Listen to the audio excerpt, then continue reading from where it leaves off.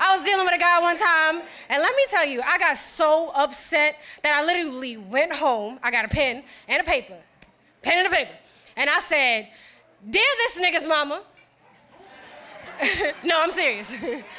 I said, "Dear this nigga's mama, how did you anticipate the life of your son?" Was it one where he reaches for the sky but skips over and gets the sun, leaving darkness on everyone because his ass is too greedy?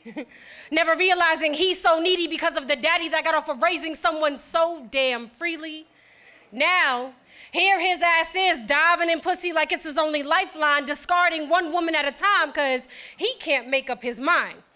See, drama has been his only fashion sense because pussy has been his only advocate and his mama well his mama never knew how to raise a man see it was a man just like him who got to you why didn't you think to ever break that cycle oh i know i know i know i know because a man is gonna be what a man is gonna be right well maybe if you never let your son be your man he might have been all right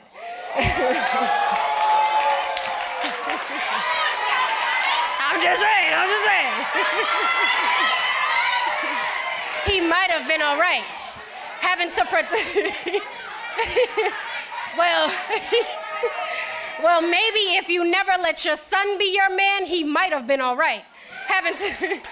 having to protect and provide, hold you up when no other man would. See, you looked at your son for everything he would have never understood. Of course, he loves you, puts no one above you. But did you know that deep down his soul is filled with hate? All these feelings are misplaced. His childhood was erased, and in order for him to know his name, he needs some woman to scream it so that he is no longer numbed and living in vain. Not knowing all the pain that remains started with the monster mommy made. Your son thinks he's being a man now. See, he was all you had. Every mistake didn't matter. Every heart he broke, fractured, and shattered was just another daily tragedy. And why would you care when his daddy did the same to you? That nigga left you bitter, but instead you ensured you was gonna be all right.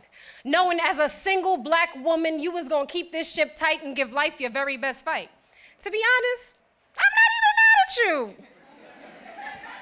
Nah, I'm lying. but see, I had to be the one to point out the many wrongs. See, I was raised to care and offer those hindered peace of mind. Now, I know life ain't never been kind, but I'll be damned if another son gets raised to think that he can creep up on my daughter to take what doesn't belong to him. Coerce her into believing he's her friend, then go for the kill to leave her labeled as a bitter black bitch when she just wanted to love him. Teach your son to love and respect women, not to be the man that his daddy never was, because you can't get that man back.